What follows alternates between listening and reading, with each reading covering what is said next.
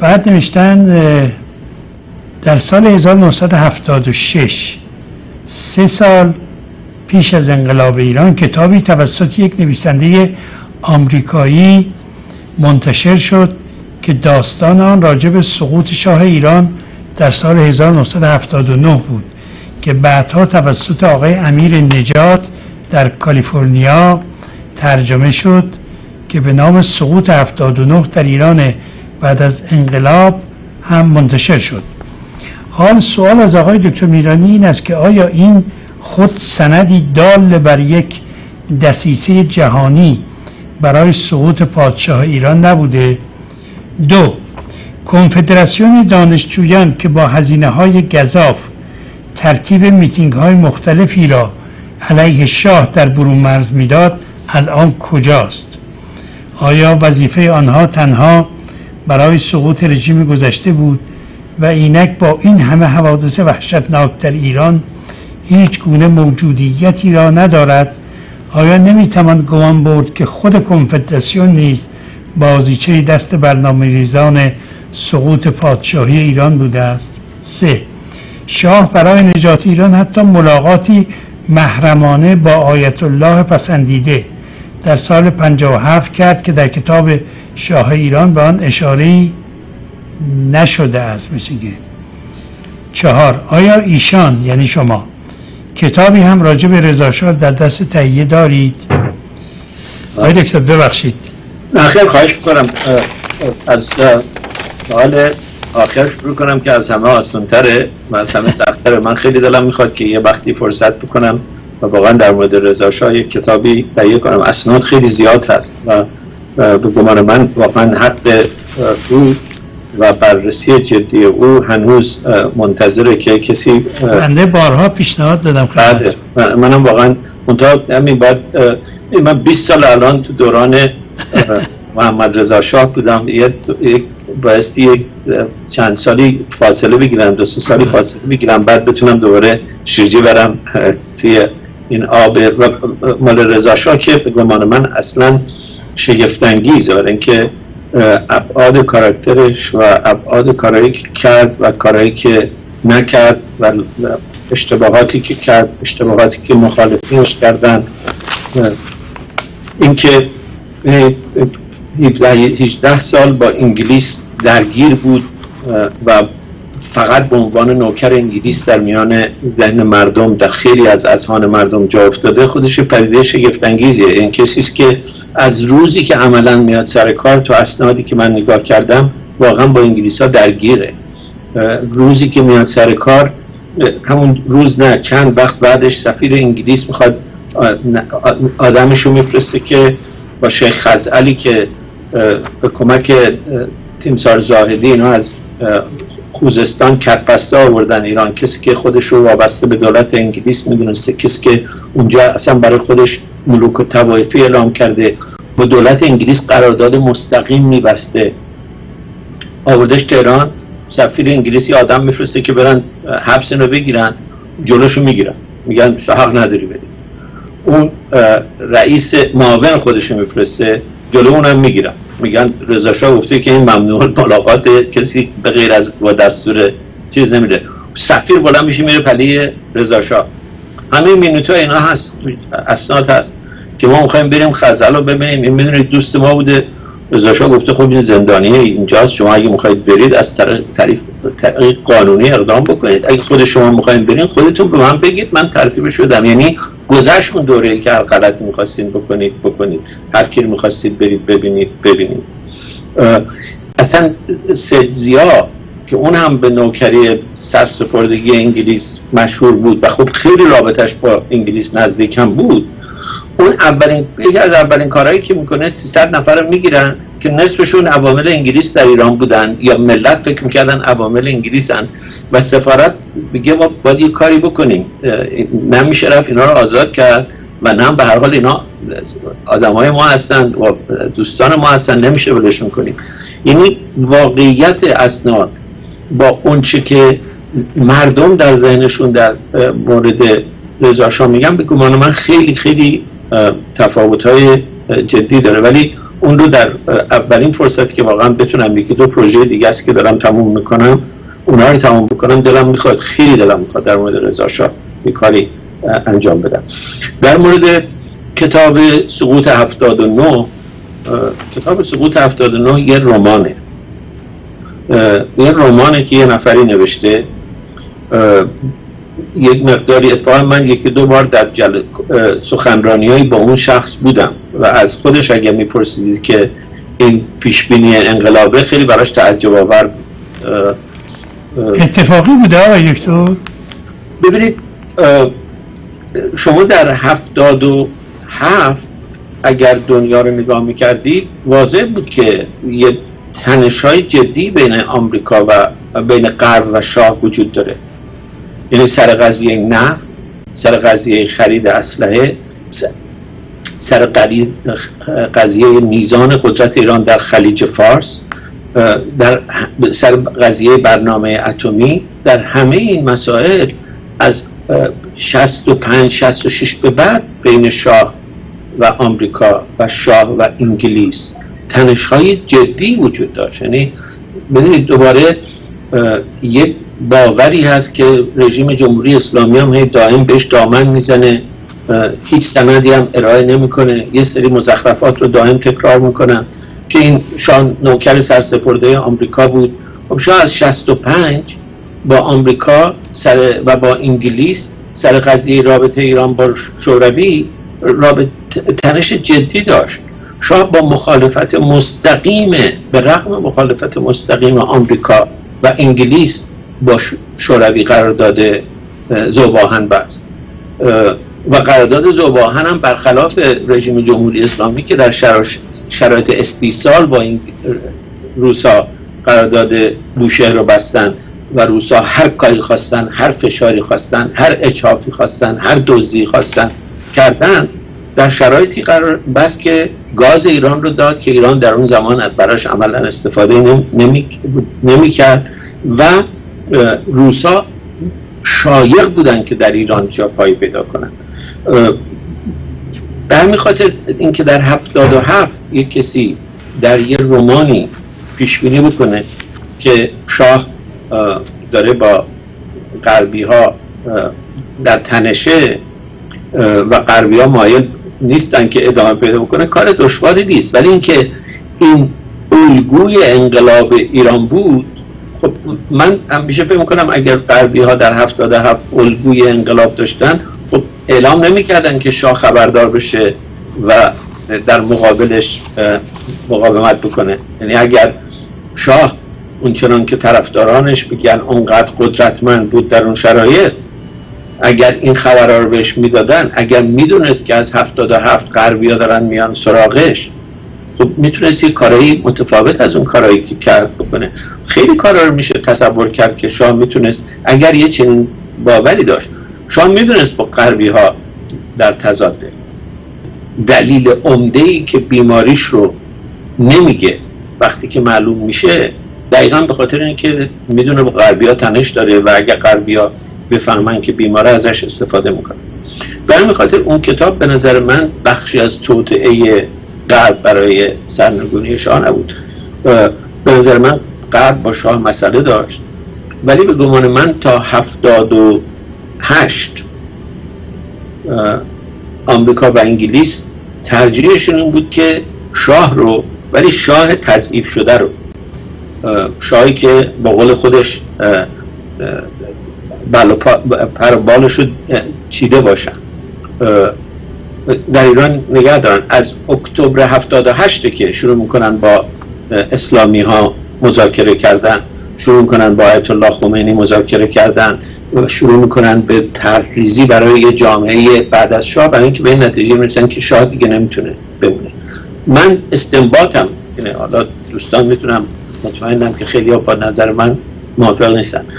در مورد کنفدراسیون هم ببینید فقط کنفدراسیون دانشجویان ایرانی نیست که در اون زمان وجود داشت و الان وجود نداره. جنبش دانشجویی چپ در اون زمان در همه دنیا وجود داشت. الان وجود جنبش کارگری بسیار مهمی وجود داشت. الان وجود نداره.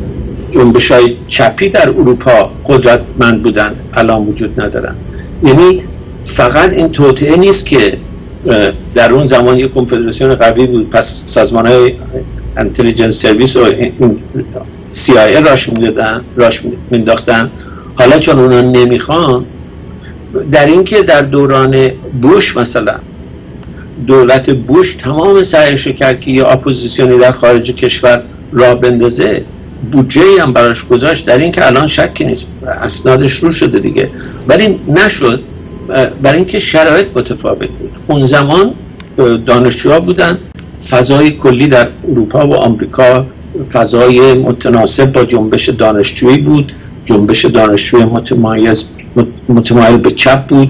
جنبش ضد جنگ بود. جنبش سیاها بود. الان در آمریکا در اون زمان چند تا جنبش خیلی قوی سیاه پوستا بود. الان یک دونه از اون جنبش ها نیست. فقط به خاطر نیست که آقای اوباما آمده جنبش عوض شده. وضع سیاه از خیلی جهات تغییر نکرده ولی اون جنبش اون رادیکالیزم نیست. دو من فکر کنم جامعه مهاجر ایرانی امروز با جامعه ایرانی هایی که در اون زمان بودن فرق می‌کرد. اون زمان فقط دانشجوها بودن و توقیان بخشی از تجربه دانشجویی همه کشور هاست الان جامعه مهاجر ایران بخش عمدهش کسانی هستن که اینجا زندگی می‌کنن مسئله زندگی دارن و تجربه انقلاب رو چشیدن. تجربه این که اگر اختیار رو بدن دست یک کس و یک گروه چه بسا که فریب بخورن. اونچنان که در 1979 فکر کردن که کنترل میدن دست آیت الله خمینی. آیت الله خمینی هم یک جمهوری دموکراتیک بر سبیل جمهوری فرانسه. برای ایران ارمغان میاره حاصلش این شد که دیدیم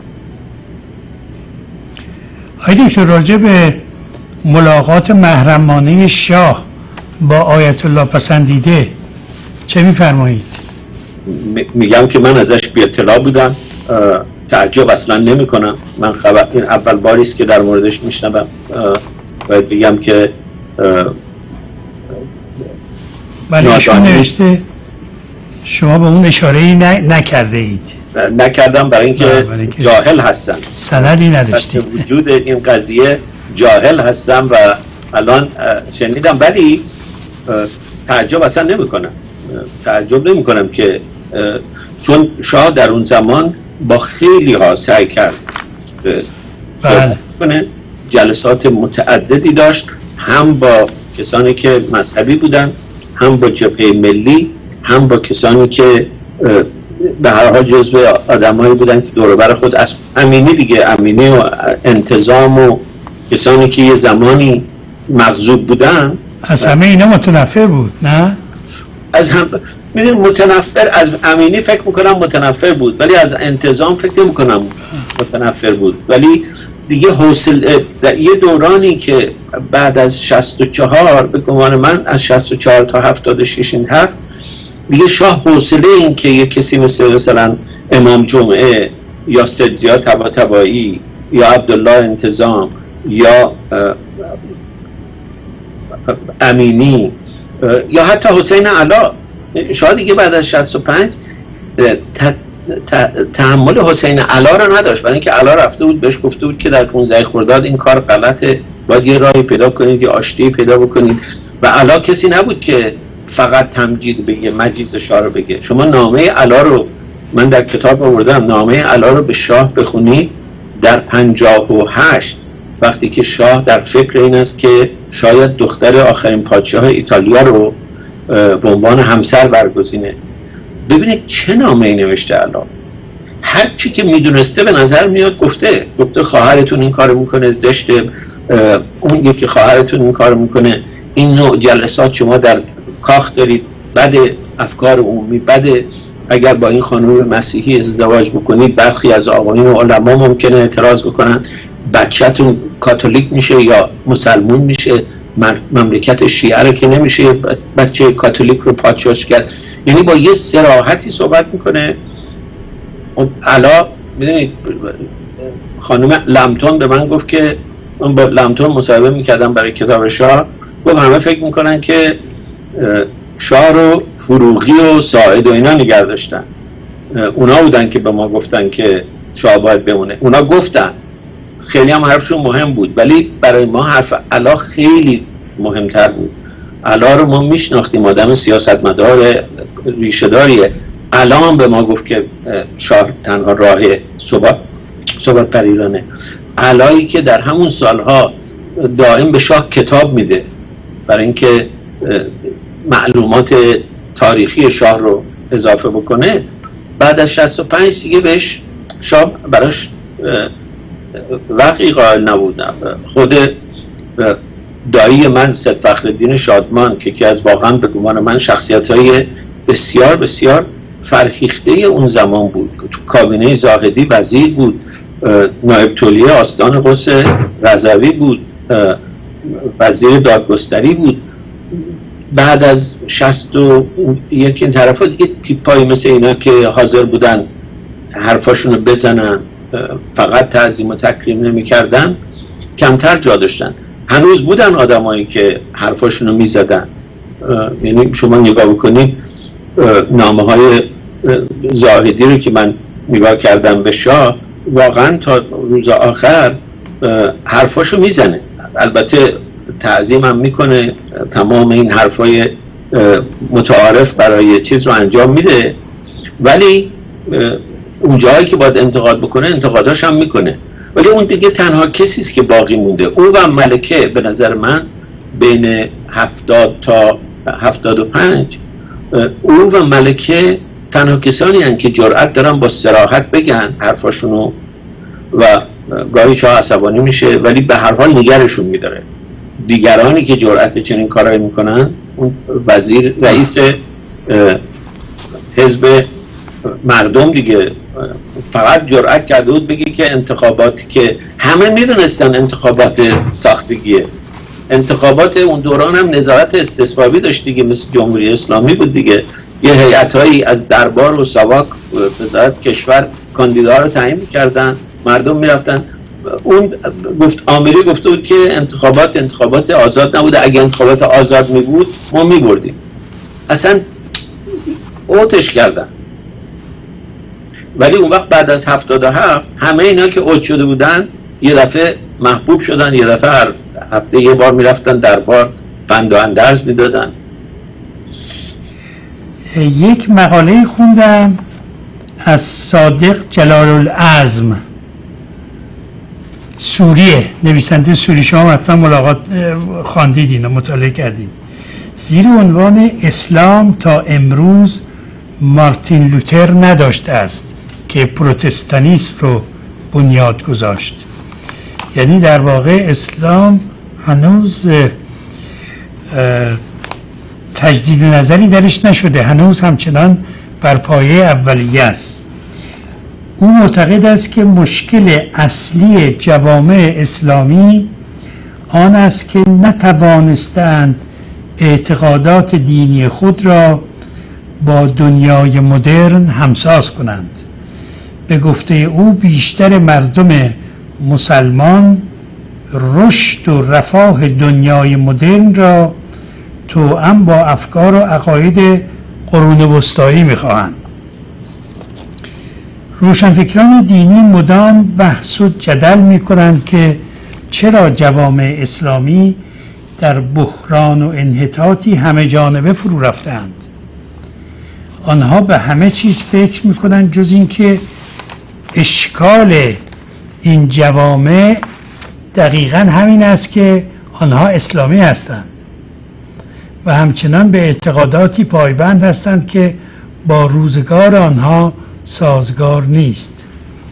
بعد می‌گوید همین نویسنده سوری می‌گوید اسلامگرایی نوعی دهنکجی به مدرنیته شکست خورده است.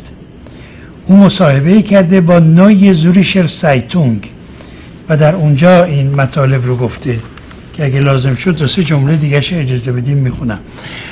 آقای که شما یک کتابی دارید که خیلی با ارزش به نظر من و اون راجع به مدرنیته است. تجدد و تجدد ستیزی. با توجه به تبهرتون در این زمینه بفرمایید که نظرتون راجع به این اظهارات این نویسنده چیست؟ من از یه طرفی با بعضی از نظراتی که میگه موافقم. با از یه طرفی فکر می‌کنم که با بعضی از نظراتش میشه بحث کرد. اونجایی که موافقم اینه که این اسلامگرایی که الان هست این اسلامگرایی چه در شکل شیعش که در ایران بود نظرات آیت الله خمینی و در واقع باید گفت نظرات شیخ فضل الله نوری تا آیت الله خمینی و الان کسانی مثل مصباب و اینها اینها در واقع روایت شیعه ترد تجدد.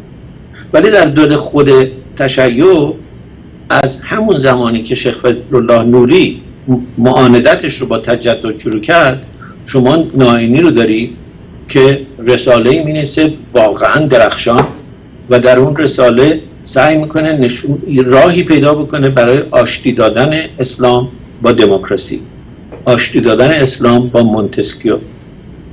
اون رساله رو در آستان انقلاب آیت الله طالقانی تجدید چاپ می‌کنه و برش یه مقدمه مینیسه یعنی اون تفکر دقیقا نوع تفکری است که آیت الله شریعت مداری داشت و بر اساس اون داشت مخالفت می‌کرد با آیت الله خمینی. یعنی شما اگر آیت الله خمینی رو وجه تجدد ستیز تشیع بگیری یه خطی هم از آیت الله ناینی تا آیت الله شریعت مداری و این کسانی که الان در ایران دارن می از آقای ملکیان بگیرید تا کسانی که در خارج می نویسن اکبر گنجی. اینها کسانی هم که دارن سعی می‌کنن یه راهی برای این آشتی پیدا کنن.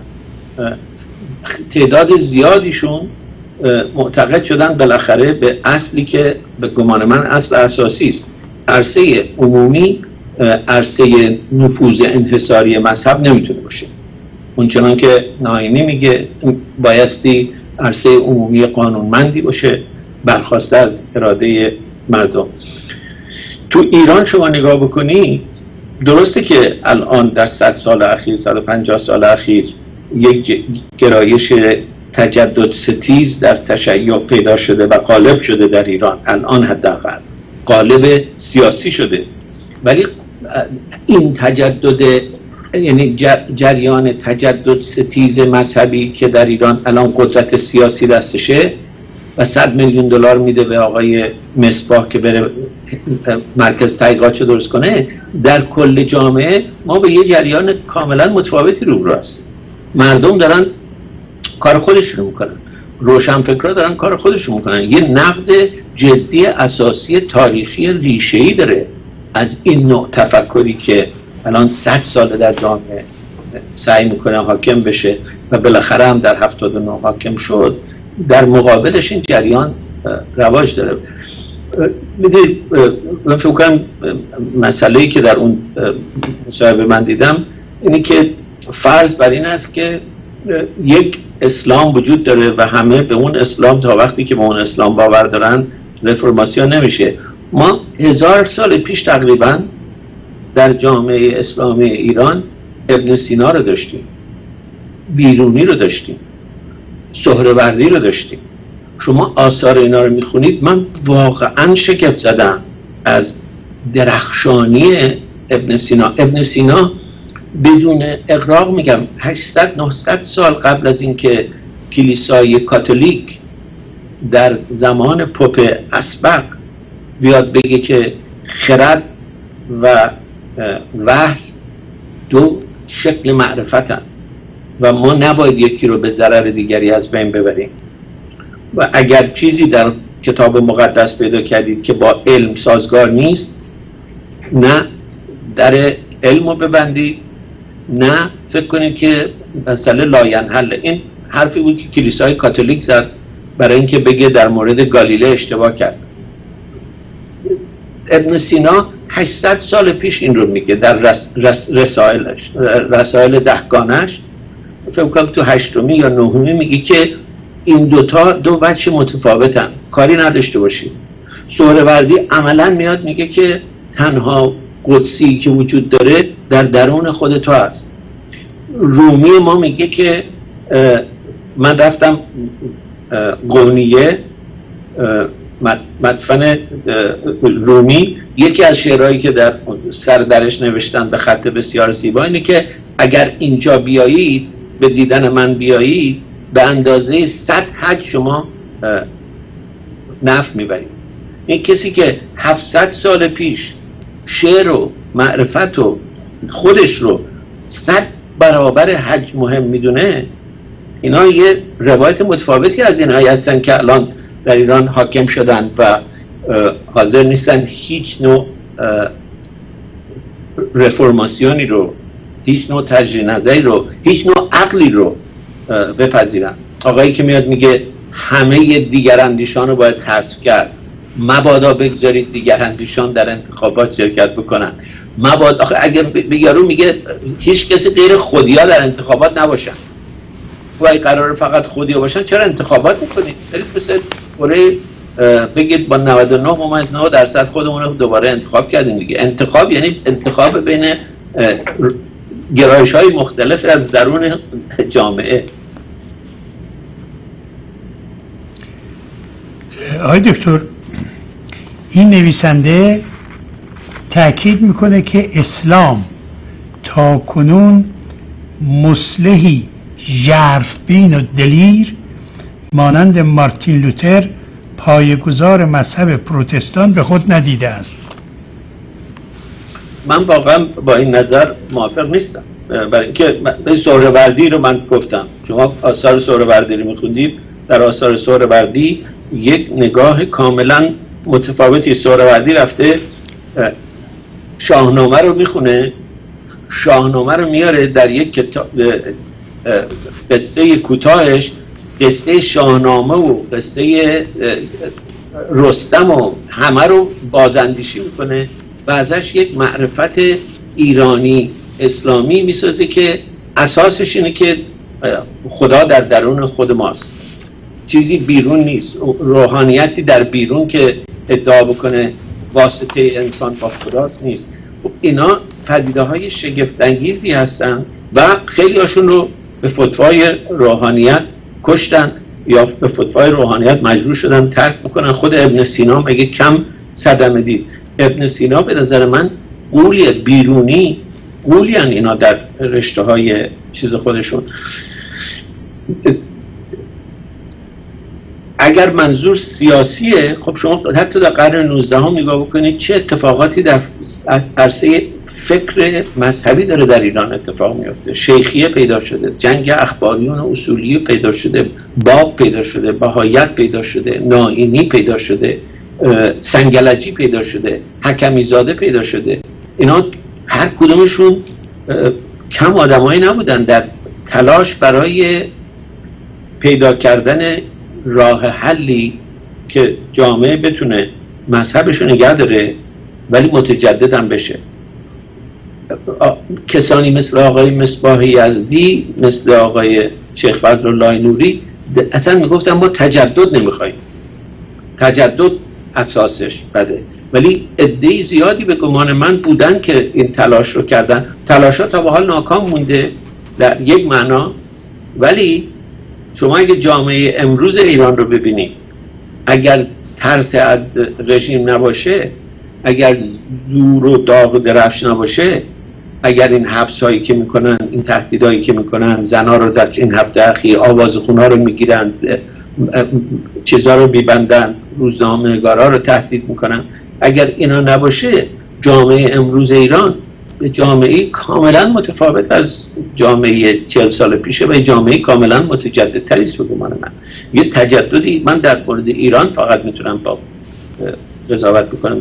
به نظر من یه تجددی بدون یه لوتر خود مردم ایران لوتر خودشون دارن میشن. جوانها زنان ایران لوتر آینده ایران.